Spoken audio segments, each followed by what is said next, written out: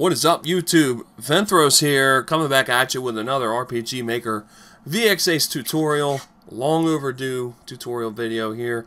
And today, uh, we're going to use uh, we're going to use events to uh, work with a door and a switch that unlocks the door so that the player can walk through it.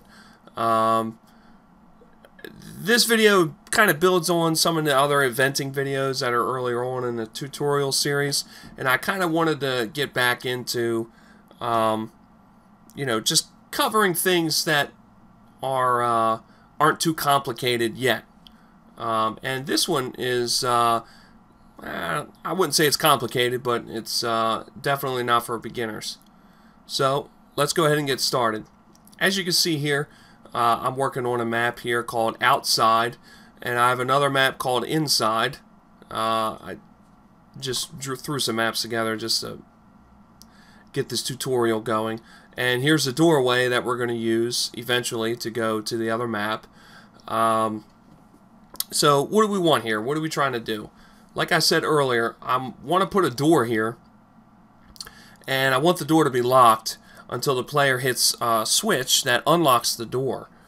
Um, normally for doors, you would right click where you want the door, go to quick event creation, and click on door. But we don't want to do that here because that um, uh, it's actually going to um, automatically create a door and I kind of, for the purposes of this tutorial, think it'd be better if we do this from scratch. So, without any ado whatsoever, um, let's uh, let's double click here. And for now let's just put the door graphic there. Um, I'm gonna use door 1 here. And just hit OK. Now we see the door. And right here I'm gonna place a switch. So go down here in the graphics and go to Pick pick whatever one you want. I'm using this default like simple lever type switch, but you can use one of these buttons or uh, you know one of these. You can put it on the wall. It doesn't matter. Uh, hit OK. So I'm just going to hit OK. Now we got our two events uh, up there, and that's all we're going to need um, for the purposes of this tutorial. So let's go back to the switch here. And what we want is we want to make sure that the trigger is the action button, which it should be by default. And what we want to do is we want, uh, when the user clicks the action button, we want it to um, turn on a switch that tells the door to open. So we're going to double click. We're going to go to control switches and we're going to create a new switch called door unlocked. And we want to turn that switch on. And we also want to play a sound that you know uh, is a is an audible clue. Um, so we're going to play a sound effect. And we're going to go to I passed it. Open 5 I believe or is it open 2 believe it's open one. Okay, I don't know if you can hear that real well. So I'll blast the volume. Just so it's just a simple um, latching sound, and that's perfect. Um,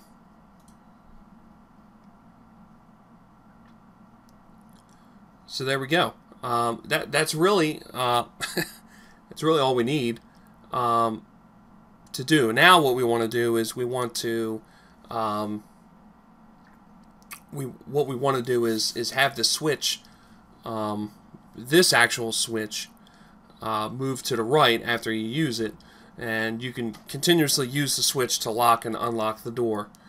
Um, you don't have to do that. I mean, who wants to relock a door after you know what I mean uh, that you just unlocked? But uh, just in case you wanted to learn how to do that, um, what we're going to do is we're going to use a self switch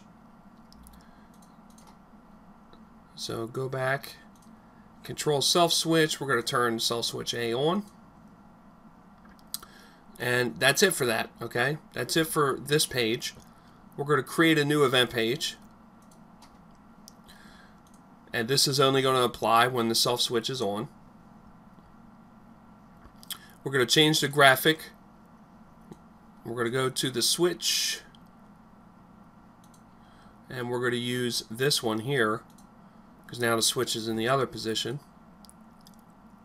And when somebody triggers the action button, we're pretty much going to do the same thing in reverse. We're going to uh, control switch door unlocked is off. We're going to play the same sound effect.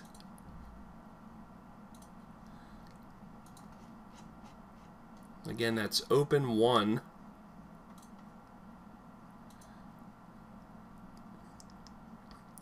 And we're going to turn off self switch A.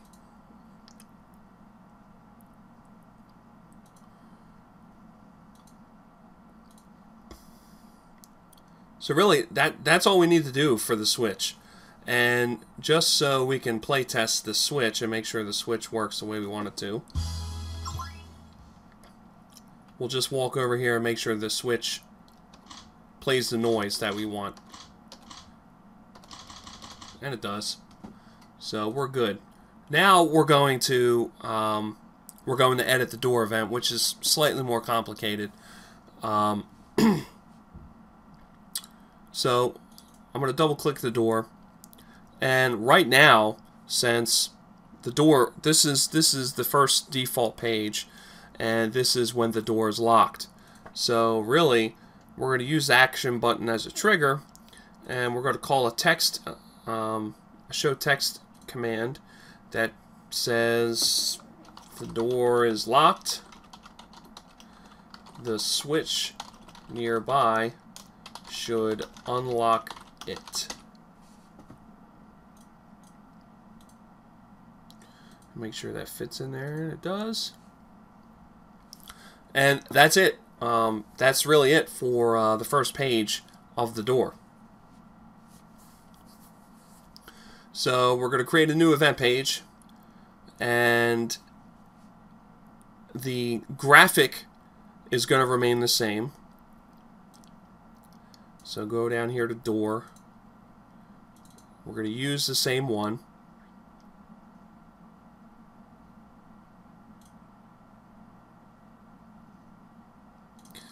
The trigger is still going to be the action button. Sorry, I'm uh, actually recovering from a cold, so try not to cough all over uh, all over the microphone. Uh, we want page 2 to occur when the door unlocked switch is on. So now that the door unlocked switch is on, when the player hits the action button, we want the door to open. And um, I'm actually going to show you how to animate the door opening. Um, so first we're going to play a sound. And we're going to use open 4 open 5 I don't know.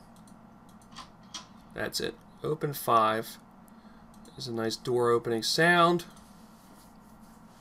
And then we're going to do the actual animation of the door. Now when you do a quick event creation for a door it does all the you know the computer does all this by itself. Um, but it's useful to to understand how the animation itself actually works. So uh, I'm going to double click the graphic again real quick. And as you can see, um, this this uh, this door uses um, this is a they call it a 12 tile animation. There's four rows of three, and the way that we're going to use the animation, each row here, is, this row is the up row, this is the left row, this is the right row, I'm sorry, this is the down row, left row, right row, and the final is the up row. Like, if you go over here to people, this is the best way to, to understand it. Facing down, facing left, facing right, and then facing up. Well, for the purposes of the door, we have to use those same conventions when we want to animate the door, excuse me. So what we're going to do is we're going to do a um, set move route command. Excuse me. And by default, the door is turned down. Um, I'm kind of making quotation marks in my with my hands, even though you can't see it. But just remember that the first row is down. So what we want is we want it to um, show the left animation. And then we want to use the wait command so you can actually see the animation a little more clearly. And I just use three frames um, because that's what the system uses when you use a create uh, a quick create door um, animation. So then we're going to use turn right, another wait command for three, and then we are going to use the turn up. Um, this actually shows the door open, and you'll see the, the, the doorway that you can walk through to get to the next room. So there you go. And by default, the game makes the player automatically enter any door that it opens. Um, I don't like that, so we're not going to do that in this tutorial. Um, just try it one time. Use a quick create command to um, quick create a door, and when you walk through the when you open the door, you automatically walk through it. Um, you know, it, it, it's really it's like the choo choo train. Like a lot of people like the choo choo train, like when you can see all the party members uh, when you're on the map. I don't like it. Uh, it's just a matter of preference. So now that the door is open, we want to turn on a self switch. Okay, um, so we're going to turn on self switch A for the door. And now the door is open, self switch A is on. Now we're going to do the actual transfer event. So now that the doorway is open, we're not going to have a graphic. And the trigger is not going to be the action button. It's actually going to be player touch. So when the player walks into the doorway, that's when this is going to happen. And really, we're just doing a simple uh, transfer player event, just like we've done before, to the inside map right there. And that's it. Uh, that, that, that is your whole event. And uh, you're going to notice right away that when we get inside, I didn't create a transfer event to come back out um, for the purpose of keeping this tutorial uh, short and sweet. Let's give it a play test and see how we did.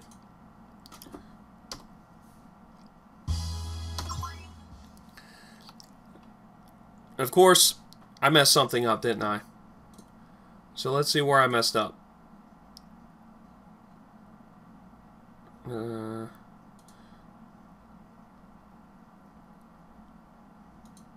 okay. I didn't set the uh, self switch here. Easy mistake to make uh, when you're rushing. Let's see how we do now. So there's our door. Let's walk up to the door and try to open it with the action button. And then, of course, the message tells us that the door is locked. Now the door should be unlocked. We're going to use the action button again. The door is open. And we have transferred to the inside map. Now, uh, one thing that uh, I left out because I don't like this either. Um, normally, when you transfer to um, another area, you can use. Uh, there's a sound effect. I think it's called move. Um, yeah, this one here.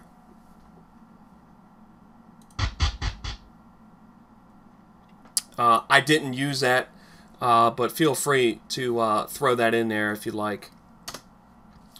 And that's it. Uh, this is a very quick, um, easy way for uh, to get player engagement when you're talking about doors. Um, I'm actually working on another video now uh, about like using a variable to store a value for a key.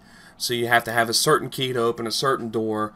Uh, that uses variables, and there's a couple other tutorials in the works, but you know, I just thanks, um, thanks for watching. Thanks for supporting me. Uh, let me know in the comments down below what what what you want to see. As long as it's not a side view battle system, uh, we could probably make that happen. And the thing with the side view is just it's just too complicated for what we're trying to do. Um, I might show a video on how to import a side view battle system that already exists, like one that we're not going to create from scratch. I might show you how to import that, um, but we're not going to be making a side view battle system uh, anytime soon. Actually, I, I, think that's outside of the scope of my abilities right now with uh, Ruby. But anyway, I digress. Thanks again for watching. Uh, thumbs up the video, like, comment, subscribe. Let me know what you want to see. And thanks again for all the support. See you next time.